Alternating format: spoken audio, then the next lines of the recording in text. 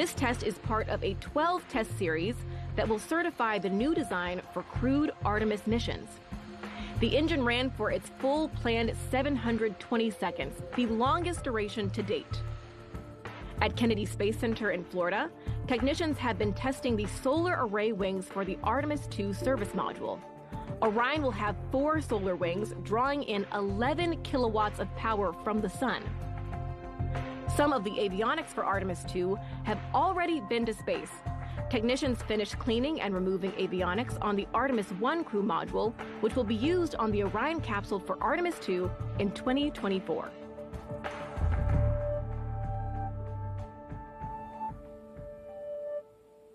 Now we are at T minus 12 minutes and counting from the liftoff of the 28th Commercial Resupply Services mission from both NASA and SpaceX to the International Space Station. So let's bring back Zach now to tell us more about Dragon's flight history. Zach? Thanks, Jasmine. For those of you following along, you'll know that it's already been a very busy year and couple of weeks for Dragon vehicles at the International Space Station.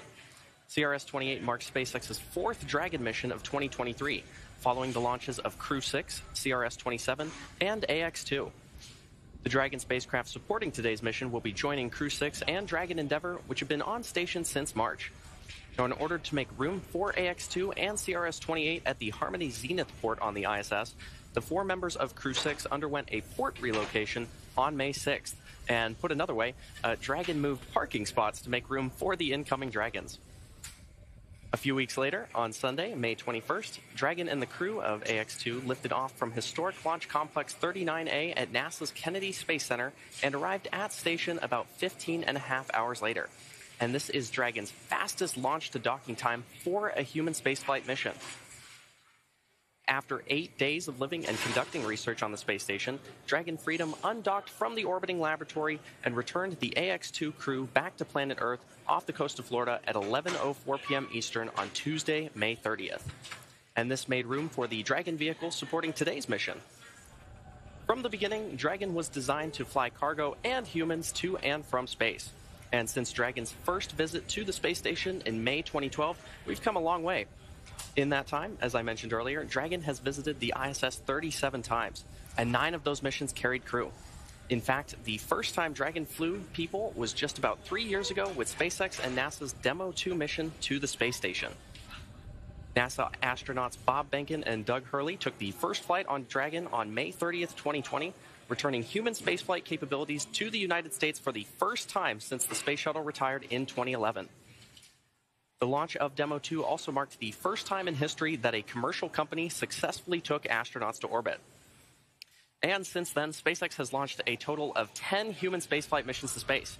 And to help enable greater flexibility for future Dragon missions, SpaceX is preparing our neighboring pad, Space Launch Complex 40 at Cape Canaveral Space Force Station in Florida, to support both cargo and crew missions. As we fly more and more people to and from space, human spaceflight becomes more accessible and creates more opportunities for humanity to become a spacefaring civilization. And now I'll turn it back to Jasmine at KSC to take a look at one of the payloads flying on today's mission. Jasmine? Thank you, Zach. One experiment on CRS 28 could be used to predict your uh, risk for certain diseases, aging, and how our bodies heal. Earlier this week, I got the chance to speak with the brains behind Genes in Space 10.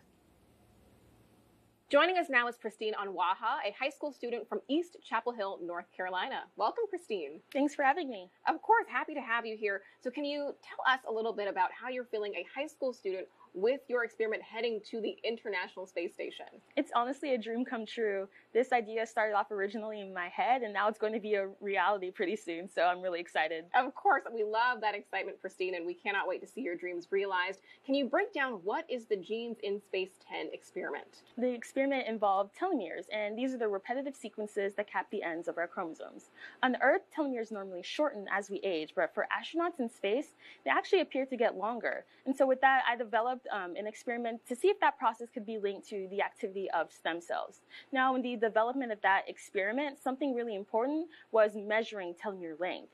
But it turns out that isn't something that can really be done on the ISS. Instead, experiments involving DNA length measurement need to be sent down to Earth, and that costs time and resources. So with that, the Genes in Space team and I got thinking, what if we developed an experiment that could help address that. And so we developed an experiment that will allow astronauts on the ISS to detect the four-fold difference in DNA length. And so with that, it opens the door up for more kinds of research to be done on the ISS, um, such as into genetic monitoring, because being in space makes you more prone to genetic mutations. So that's something that can help with that. Also opens the door up for more research into telomeres to be done and even broader. Christine, that is so exciting. And your experiment was chosen out of over 600 applications. So, what advice do you have for students who are also interested in this opportunity? Yeah, I would just encourage other students to just explore their passions in space biology and pursue it as best as you can. That's what I did, and it led me to where I am here. Exactly. Very excited to have you here. And tell me, what are your plans after high school? I mean, you've got some great things on the horizon, right? Yeah, so in the fall, I'll be headed off to UNC Chapel Hill. Um, I'm planning on studying either biology or biochemistry, and I'm really excited to get more involved with biological research in the future, especially space biology. Of course. Thank you so much for joining us today, Christine. Thanks for having me.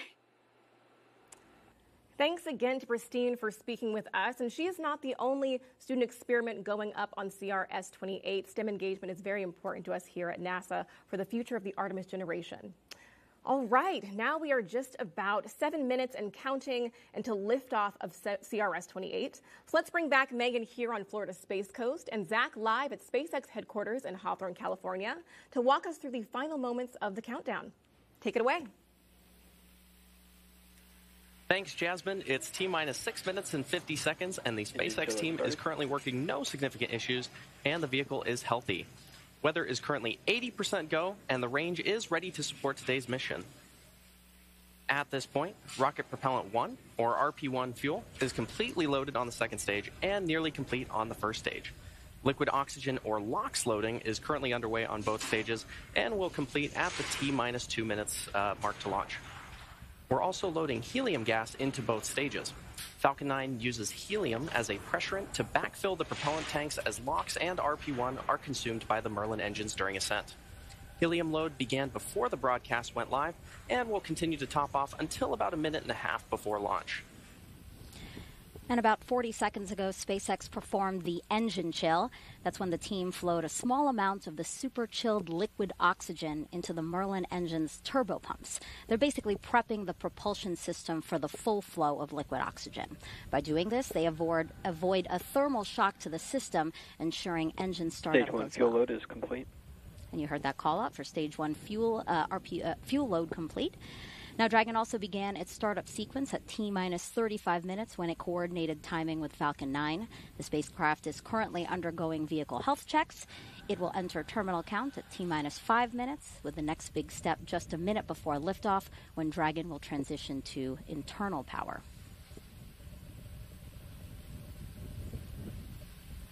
Now, you may have noticed those white clouds around the vehicle. Those are completely normal. They are chilled gas above the LOX tank with LOX tank liquid surface that we vent overboard to maintain pressure in the tank as needed. And when that gas comes out into contact with the warm, humid Florida air, the air condenses into clouds and water. Now, Here at the eye, Bob, for now, we should see the count. Falcon 9 tanks are pressurizing for strong back retract. The transporter erector, the tr Dragon is internal the transporter count erector or T the transporter erector, or TE, is used for vehicle rollout and to route propellants and electrical power to the vehicle in preparation for launch. And once those clamp arms have fully opened, the TE will then retract away from the rocket in preparation for liftoff. We have a hot mic on the countdown net. All parties check your key panels. Strongback lower has started. We should see those clamp arms opening in about 15 seconds from now.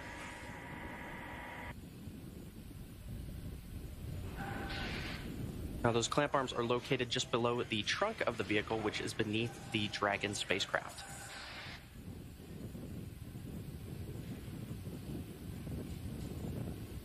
And there you can see those clamp arms beginning to open around the booster.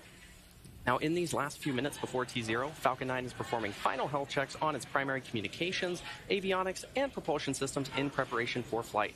And we may hear callouts that engines are sufficiently chilled as we get a little closer to liftoff. Clamp arm should be fully open, and the transporter erector, that strong back, is going to recline away from the rocket.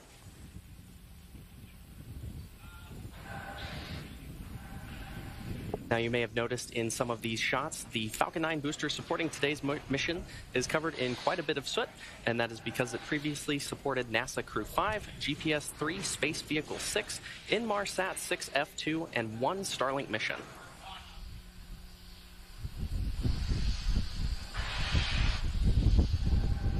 And you can see that strong back slowly reclining away from the vehicle.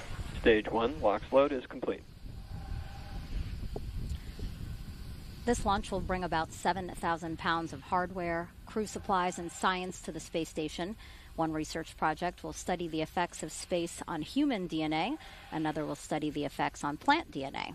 Findings from both could help us advance things here on Earth, but also prepare us for future, farther missions into space and Dragon will be docked to the space station for about a month before returning home.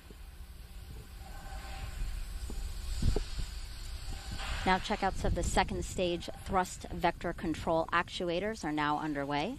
This is often referred to as an engine wiggle test. This is when SpaceX moves the thrust nozzles slightly to make sure the guidance hardware is ready for flight. SpaceX will do the exact same test on the first stage engines, but that happens just seconds before ignition.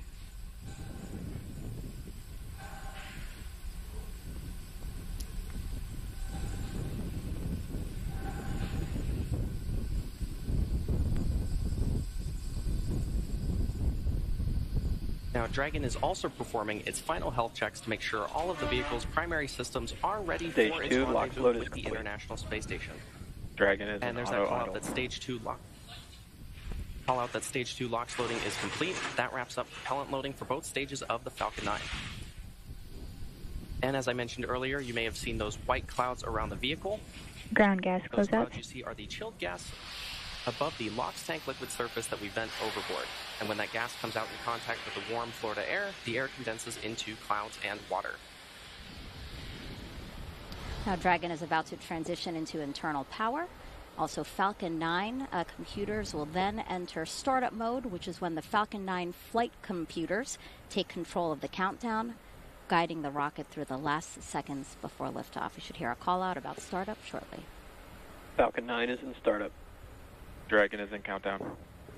Both stages are now pressurizing for launch. At T minus 45 seconds, we'll hear the SpaceX launch director verify go for launch. Go for launch. There you go. And at launch, the International Space Station will be flying 260 miles over the North Atlantic, south of St. John's, Newfoundland. T minus 30 seconds.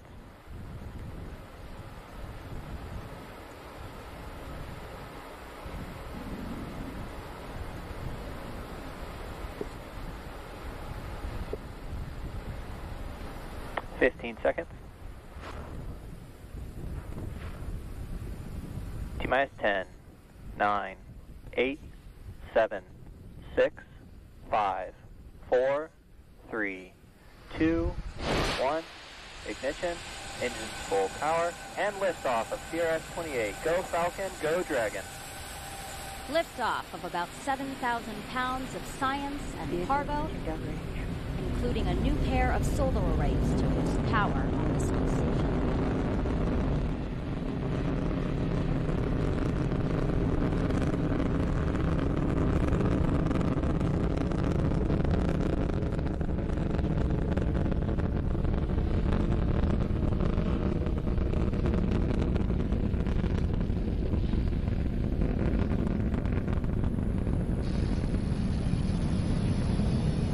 At T plus 40 seconds, Falcon 9 has successfully lifted off from historic launch complex 39A in Florida. And we're now coming up on max Q in about 20 seconds from now. And this is the point of maximum aerodynamic pressure that the vehicle will go through during its flight. Falcon 9 is supersonic. And there's that call out that Falcon 9 is supersonic, traveling faster than the speed of sound.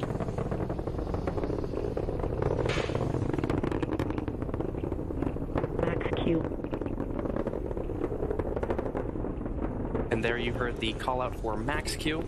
Coming up next are three events back to back. The first of which is Main Engine Cutoff, or MECO, and this is when all nine Merlin 1D engines on the first stage shut down. After those nine engines shut down, the first and second stages will separate, and this is also called out over the nets as stage separation. From there, the second stage will ignite its Merlin vacuum engine to boost Dragon to low Earth orbit during SES or second engine start one. And this whole sequence takes about 15 seconds.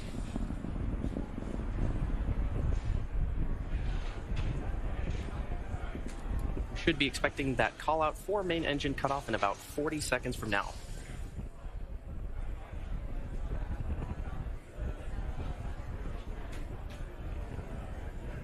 Some amazing views of our Falcon 9 vehicle as it takes our Dragon spacecraft to orbit.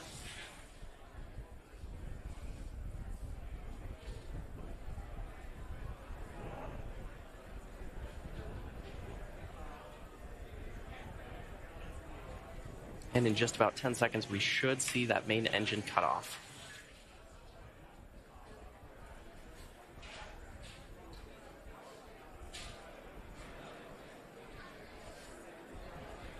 MECO? Stage separation.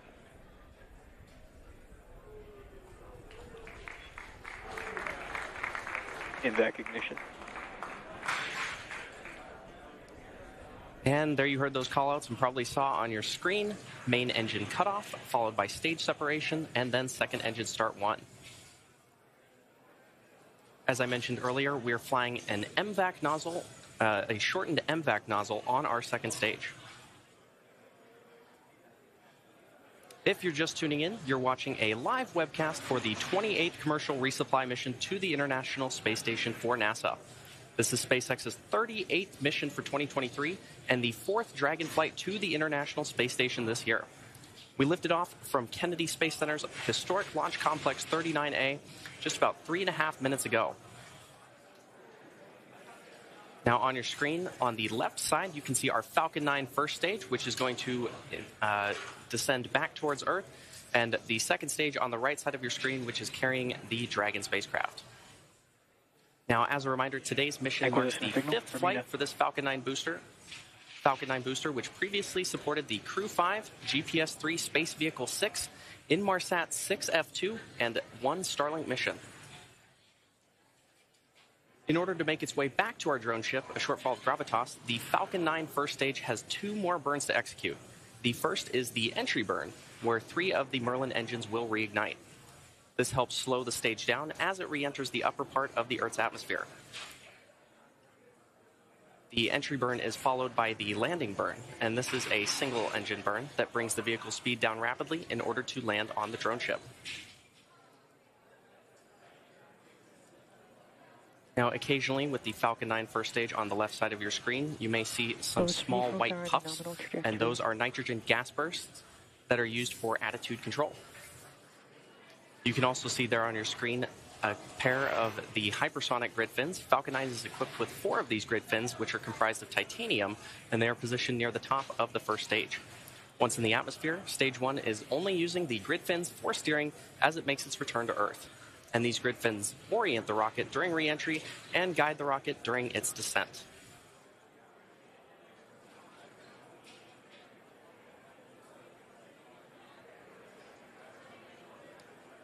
Now, the Falcon 9 first stage has nine Merlin 1D engines, and, and each engine generates about 192,000 pounds of thrust.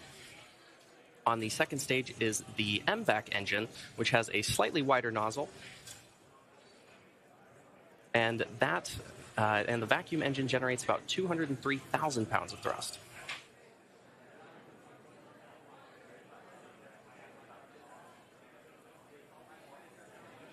Next major milestone is going to be the first stage entry burn, which will take place just over a minute from now.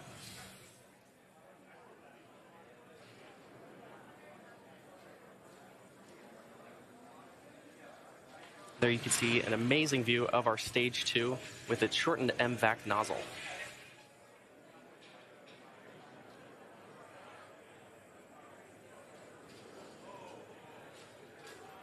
The Falcon 9 first stage, which is not currently on your screen, has reached apogee and is now beginning its descent back towards Earth. The second stage is continuing to take our Dragon spacecraft to orbit.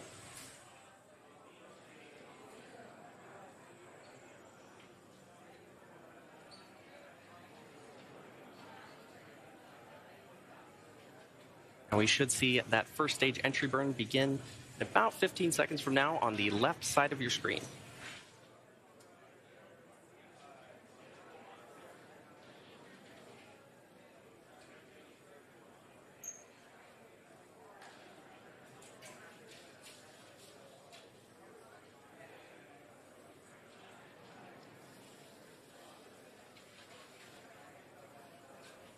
Stage 1, FTS has safed.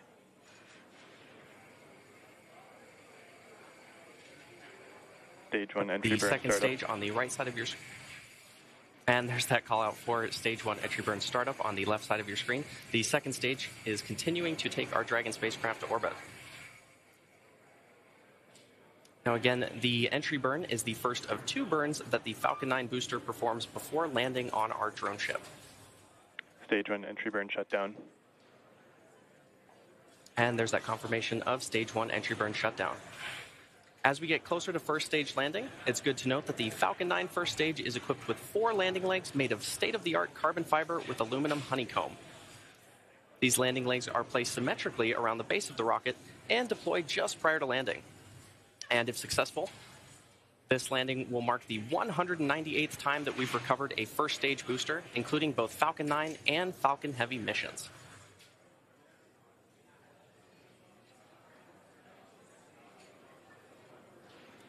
We are about 25 seconds away from that landing burn beginning. Stage 1 transonic. Now, as the rocket descends through the Earth's atmosphere, this really puts deceleration into perspective. In the span of less than a minute, we'll have reduced from twice the speed of a jet all the way down to zero as the rocket lands. And as Falcon lands, we may also hear a call out that the second engine will shut off around the same time.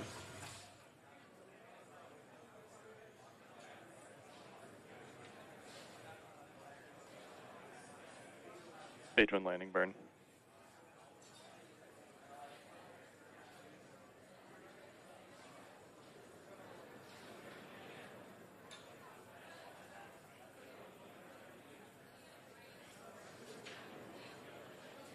Landing leg deploy.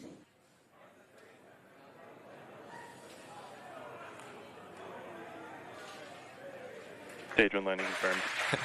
and and there you have it. The Falcon 9 first stage that supported today's mission has landed for its fifth time, having previously supported Crew 5, GPS 3, Space Vehicle 6, Inmarsat 6F2, and a Starlink mission. Today's landing also marks the 198th successful landing for an orbital class rocket. You may have also heard confirmation of good orbit. Acquisition of signal, Newfoundland.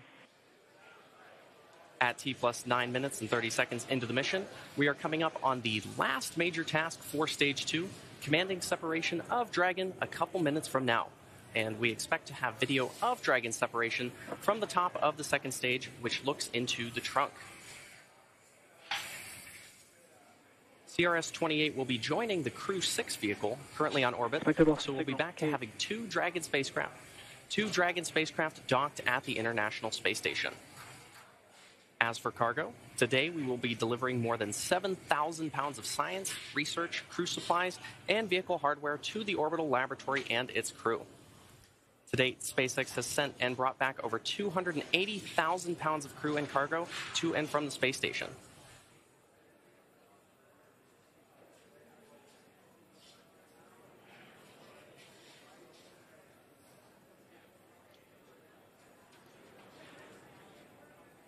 And we should be seeing Dragon separation about a minute and a half from now. As a reminder, this is the fourth flight for this Dragon capsule, having previously supported CRS 21, CRS 23, and CRS 25 to the space station. Today's flight also marks the 20th reuse of a Dragon vehicle overall. Now, Dragon has 16 Draco thrusters on board, each with the capability to deliver 90 pounds of force. There are four pairs of three thrusters spaced evenly around the capsule, as well as four forward bulkhead thrusters underneath the nose cone. Now, notably, today's Dragon does not have super Draco thrusters, seats, or life support systems, as it's not carrying crew. And this saves on weight and space, and also allows for a faster refurbishment time.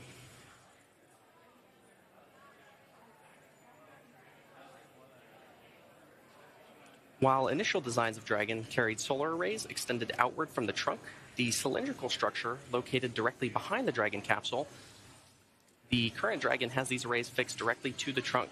And you may see at some point both a light and a dark side of the trunk, and that dark side is actually those solar panels, while the light side is a radiator to help cool the spacecraft.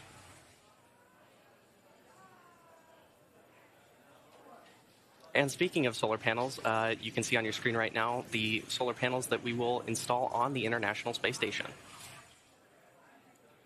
Once the Dragon capsule reaches the ISS, it will be able to autonomously dock using its navigation sensors, centerline camera, and light detection and ranging or LiDAR equipment. And there you can see on your screen Dragon separating from the second stage.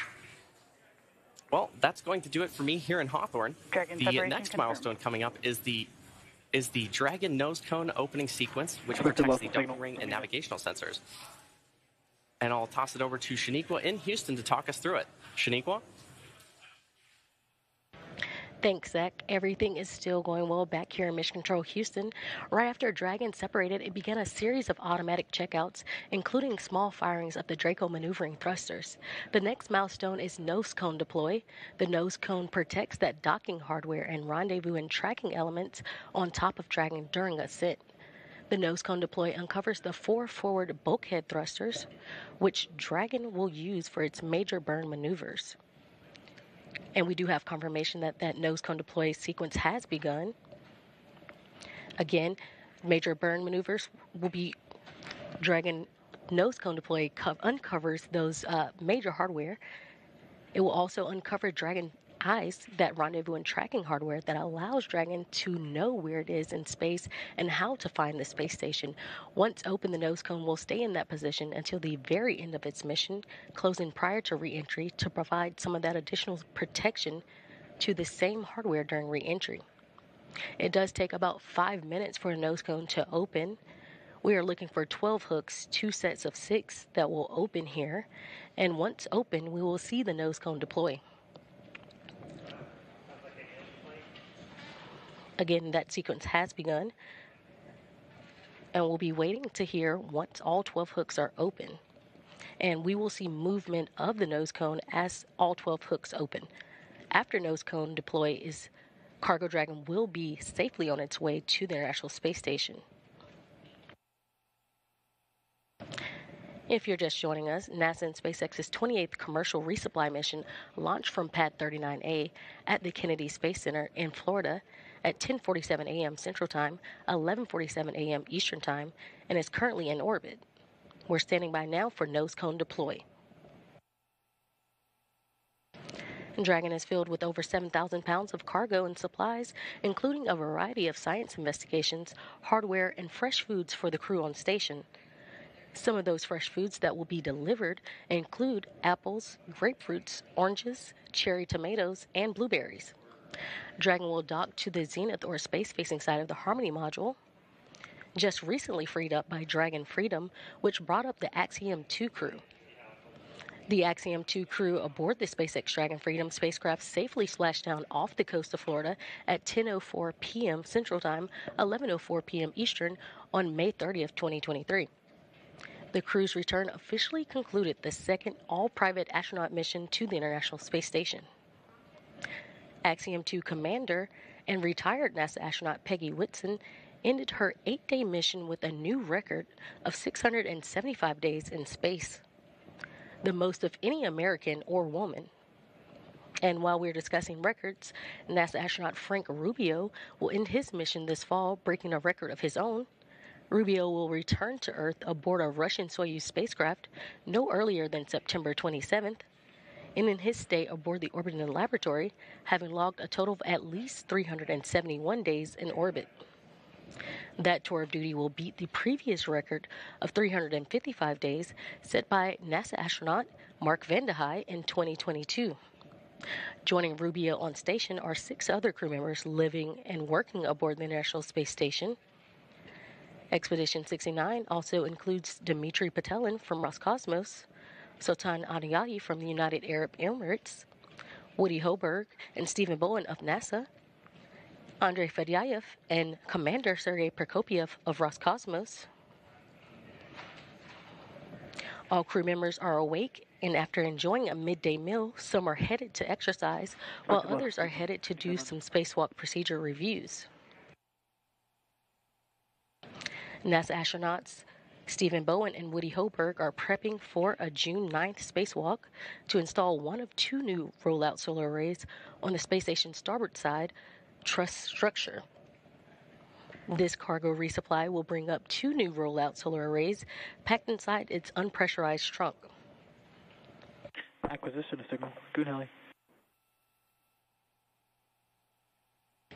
And again, if you're just joining us, we are currently waiting on nose cone deploy of the CRS 28 cargo spacecraft. That sequence has begun just a few minutes ago, and it does take about five minutes for the nose cone to fully deploy.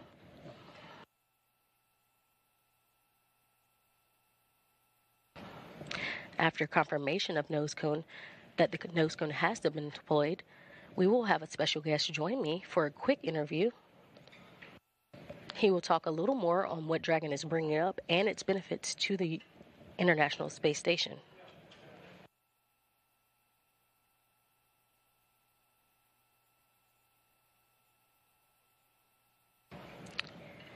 And back here in the International Space Station room, flight control room, while we are waiting for that nose cone to officially be fully deployed, we will have flight controllers that are monitoring the systems on station itself ahead of Dragon's arrival Tuesday morning.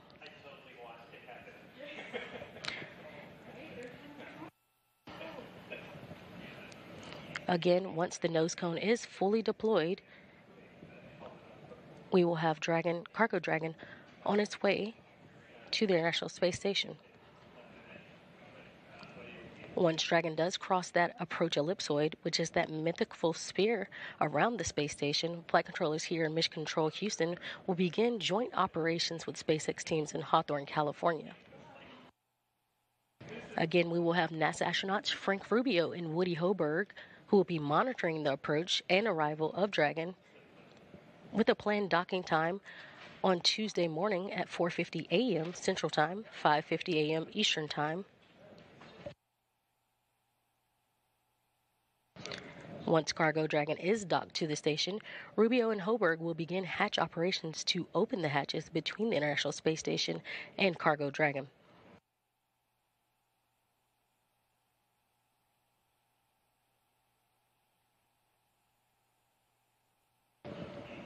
And again, this is live mission operations of the CRS 28 resupply mission to the International Space Station. If you are just joining us, we are currently waiting on the nose cone deployment of the vehicle.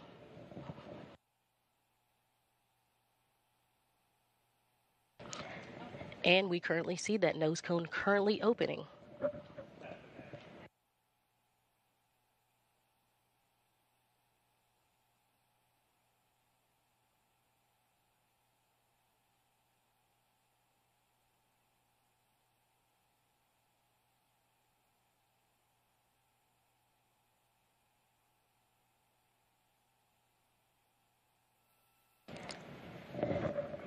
And we have confirmation of nose cone deploy.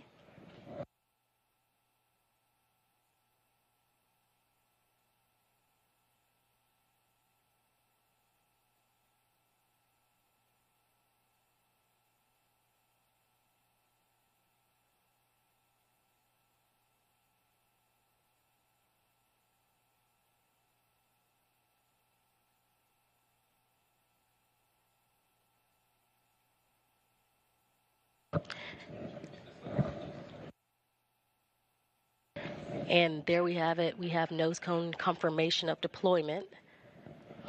And now joining me on the phone is manager of the International Space Station Transportation and Integration Office, Phil Dempsey. Hi, Phil. Hey, Shaniqua. Thanks for joining me. And as we get into it, can you outline the major activities for the crew with CRS 28? I know we talked some of what's being brought up, but can you go a little more in depth for us? Sure. The uh, dur- during this mission, there's uh, quite a bit of research that has to be done. So the crew will start, you know, unloading the, the Cargo Dragon. There'll be actually quite a bit of research that's done in time to complete it and return those samples to the ground at the end of this dock mission. As well as that, we're carrying up some iROSAs, uh, external solar arrays that have to be installed with a couple of EVAs during this uh, mission. Of course. And these resupply missions, just like you mentioned, are delivering science, hardware, and other cargo to the station. I know one key delivery on CRS 28 includes a pair of ISS rollout solar arrays. Can you discuss what the plan is for these arrays and what the importance is for station? Yeah, absolutely. So, as you know, the ISS program is extending operations to 2030. The robustness of the vehicle has been one of the key factors in our ability to do so. One thing we've seen is expected degradation of solar array performance over time. So these iROSAs will enable us to get back to beginning of life power levels. With this pair on the SpaceX 28 mission, we'll have augmented six of our eight power channels, further enabling the ISS program to continue full research utilization without interruption. That's why we're here in the first place. Thank you. And as always, I know it's a busy time aboard the International Space Station with cargo vehicles coming and going and multiple planned spacewalks. How complex will the next few months be for the station program and the global partnership? Sure. Well, as always, there's a lot going on. You know, first we have the spacewalks to install the iROSAs, which I just mentioned. Those are actually some of the most complex that our crew performs. Not long after completing those, we're looking forward to the NG-19 cargo resupply mission later this summer, uh, bring up more critical supplies and, and research. And then we're not too far away from the next crew rotation missions on both the SpaceX Crew Dragon and the Soyuz spacecraft. So we're definitely looking at some complex choreography, but we've got an extremely capable teams across the world making it all happen. Thank you so much. And we again appreciate you for joining us today. All right. Thank you. Have a great day. It's good to see a good launch today. Perfect. Thanks, Phil. Joining us Join us again early Tuesday morning at 3:15 a.m. Central Time for live coverage of docking for CRS-28. Again, everything is on track on the International Space Station side, so that'll do it for us here in Mission Control Houston. Now back over to you, Kennedy. Jasmine. Thank you, Shaniqua. Yet another beautiful launch from Florida's Space Coast. And that's going to wrap up our launch coverage of the 28th Commercial Resupply Services mission from NASA and SpaceX. Thanks again for joining us, and we'll leave you with a replay of today's launch. Until next time, go NASA, go SpaceX, and go CRS 28.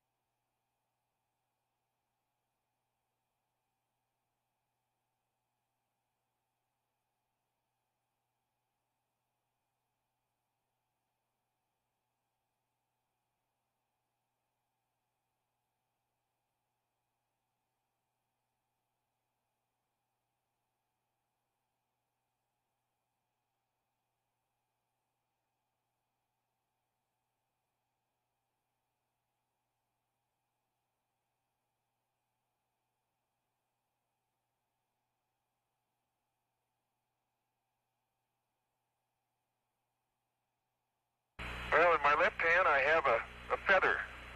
In my right hand, a hammer. And I guess one of the reasons uh, we got here today was because of a gentleman named Galileo a long time ago who made a rather significant discovery about falling objects in gravity fields. And we thought that uh, where would be a better place to confirm his uh, findings than on the moon. And uh, so we thought we'd try it here for you. Uh, the feather happens to be appropriately a falcon feather.